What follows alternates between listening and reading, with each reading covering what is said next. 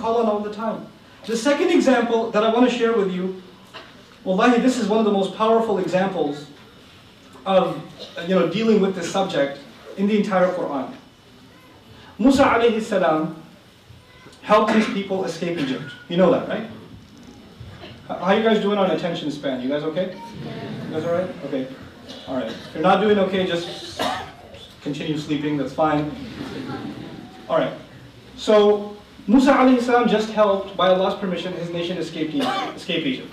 These people have been in slavery for quite some time. Slavery a happy time or a sad time? Sad time. What adds to that sadness, what adds to that sadness is that they, they the, the people that are walking across the body of water have living memory of babies being slaughtered in front of their eyes, their own. Their own children not just dying, being murdered. Is that a memory that just disappears? No. There is, even though they have escaped the clutches of Fir'aun, these people have lived a life of indescribable sadness. It's not just the loss of a child, it's the loss of thousands of children in front of the eyes of the parents, at the hands of merciless soldiers. This, is a, this was a policy of Egypt. So you have a bunch of grieving parents that are escaping you know, Egypt. A bunch of grieving parents. And Musa alayhi salam has helped them escape. Now they're on the other side. Has the sadness disappeared? No. Now Musa alayhi salam is going to give them a khutbah.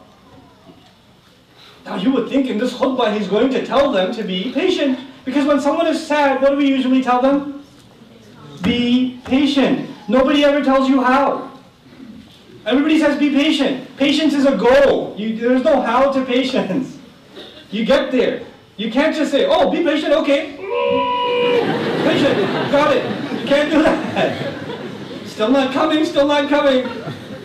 You have to do certain other things that get you to patience. Patience is not something you can just do. It is, it is a, it's, it's an acquired power. It's an acquired you know, power. It's not something that's in, innate inside of us. It has to be nurtured, built. So the question in this khutbah, what I feel, is that Allah Azza wa gave us the key to nurture patience. As a matter of fact, they're out in the middle of the desert, they don't have food supplies, and there's the sadness and trauma of that terrible history that they've lived. And yet Allah Azza wa Jal, through the mouths of Musa, mouth of Musa alayhi salam, has them listen to this khutbah. وَقَالَ رَبُّكُمْ لَإِن شَكَرْتُمْ لَأَزِيدَنَّكُمْ your master said if you could just be grateful even a little bit, he would absolutely, absolutely guarantee, uh, he says, I will absolutely, absolutely, I guarantee I will increase for you. I will give you more and more and more and more and more. What did he bring up? What thing should you do? Be patient? No, be what? Be grateful. How are you telling a people that live nothing but misery? They've lived nothing but misery. And you're getting up on the minbar and you're telling them you need to be what? grateful. You need to be grateful. This is the key remedy to sadness. The change of thought. Instead of thinking about patience, because patience means you're thinking about the trouble you had and now you're being patient over it. The messenger, Musa alayhi salam, changed the mindset of the entire people. Said, he's saying, hey, don't think about the sad things that have happened in your life. You need to focus on the good things that have happened in your life. And when you focus on the good things that have happened in your life, who will you give credit to? Allah Azza wa Jal, and that will make you grateful. And when you become grateful, what becomes easy? Patience becomes easy. When gratitude is not there, patience is impossible. Why, why do our ulama call sabr and shukr two wings of a bird? Bird can't fly with one wing. Why do they call it that? There's a reason. Because without gratitude, these people can't move on with their life. And what a beautiful thing. Allah Azza wa said in that ayah, if you were just to be grateful, I promise, I swear to it. And if ana is used, azidannakum. And the strongest form of the verb is used. And Allah normally does not use I in the Quran. That's even more rare than nahnu. It's the rarest form. But he says to them, if you could even show me one ounce of gratitude, al-madi, la in shakartum, even, even if you did that, then I guarantee over and over again, over and over again, over and over again, I will increase you. Now the question arises, when you say to somebody, hey, I want to increase you, does that make any sense to you? What do you mean? You want to increase me in terms of weight, knowledge, wisdom, patience, crime. What do you want to increase me in? Money? I'm interested in that one. you know?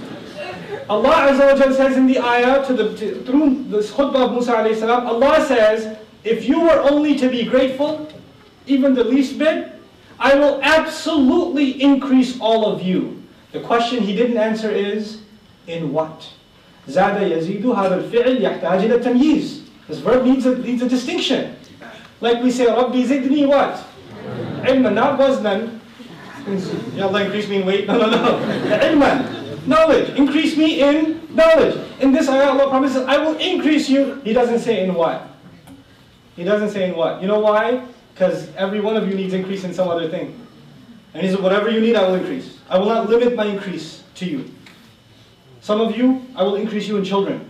Some of you, I'll increase you in patience. Some of you, I'll increase you in strength, in knowledge, in rizq, in provision, in happiness. You know, I'll increase you in whatever you need increase in. Because sadness is a, something is depleted, right? Something's missing. I'll increase it. I'll fill it up for you. You just have to be grateful. وَلَئِن كَفَرْتُمْ إِنَّ عَذَابِي لَشَدِيدٌ Subhanallah. And if you were to be grateful, ungrateful, Allah does not answer actually the, the you know, conditional statements in Arabic. You know how in, in, in English you say if-then statements? If you do this, then this will happen. So if you're grateful, then I'll increase you, right? But if you're ungrateful, Allah didn't put the then. That's a mercy of Allah.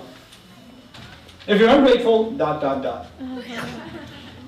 He didn't put it then. That's His mercy. That's actually, if the, you can't be grateful for anything else, be grateful He didn't fulfill that.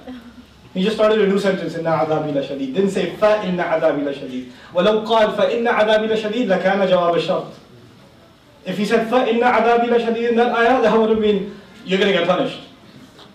Allah didn't put a fa there. Every letter in Quran, wallahi, every letter is just incredible.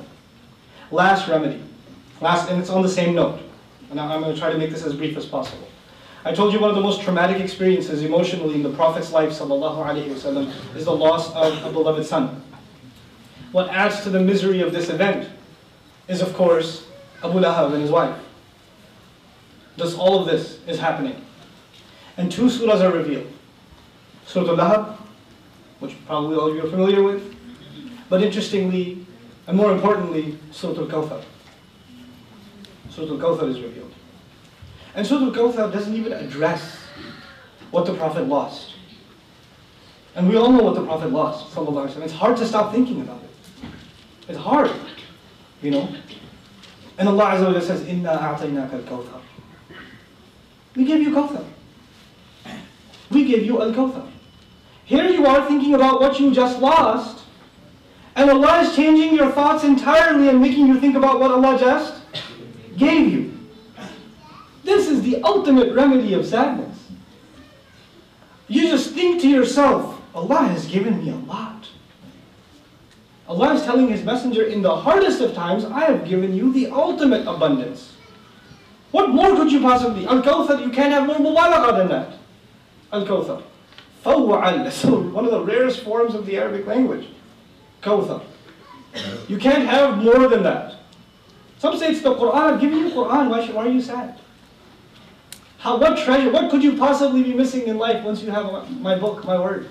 The Prophet has told Sallallahu Quran itself, itself is the remedy for sadness. When Allah is speaking, when Allah is speaking to you and me, that is a remedy of sadness. What more could we ask for?